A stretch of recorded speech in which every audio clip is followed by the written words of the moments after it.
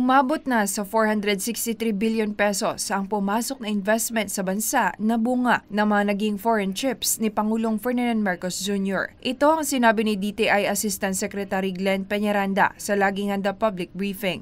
Katumbas anya ito ng 40% ng 1 trillion peso target na pumasok na puhunan sa Pilipinas mula sa mga naging biyahe ng presidente. On the first quarter po, um, in terms of approved investments, nasa 463 billion na po, which is around 40% the initial target na 1 trillion uh, pesos.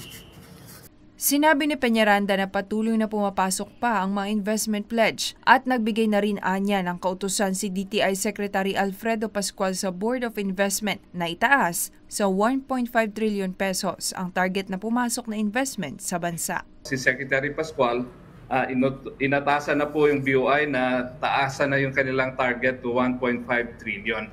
Um, so overall po ang gusto sabihin na pumapasok na po yung mga yung mga uh, investment pledges, yung mga IT related projects uh, ini-implement na po. But yung other projects that uh, will take uh, due diligence at saka uh, mga planning pa, ongoing po lahat yung mga yon at saka tinututukan na natin at uh, yung gobyerno po nagpatuloy na na naglalagay ng uh, polisiya at saka mga mekanismo na para ma-facilitate po lahat ito. Sa dami anya ng mga negosyante na nais maglagak sa bansa ay positibo anya Peñaranda sila na mas marami pang traders ang maglalagak pa ng puhunan sa Pilipinas na anyay hindi lang sa Pangulo nakipag-usap kundi pati na rin sa mga economic manager. Ipinaliwanag naman ni Peñaranda ang kahalagahan ng foreign trips ni PBBM para mapaigting ang economic relations ng Pilipinas sa ibang bansa. Mahalaga po ito dahil uh, um, maliban pa dun sa na, nababasa ng mga negosyante na yung positive developments na yung ating ekonomiya lumalago, meron tayong malaking uh, population na hindi lang merkado o hindi strategic asset. No? Napag-usapan kanina yung digital economy, ang Pilipinas po, um, skilled, IT literate, strategic resource po ito. Marami mga bansa ang gustong ma- ma-harness itong uh, asset na to.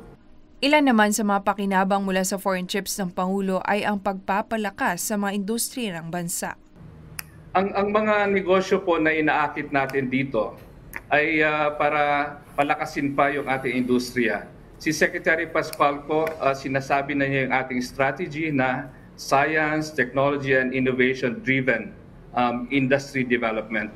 Pag pumasok po ito mga namumuhunan dito, dala nila yung technology para po lumakas pa yung ating mga industriya. In the end po, ang tinitingnan din natin palagi na ito po ay magbubunga ng maraming trabaho at saka di kalidad na trabaho para po na makinabang ang ating mga manggagawa. Para sa Diyos at sa Pilipinas kong mahal, Jane Conita, SMNI News.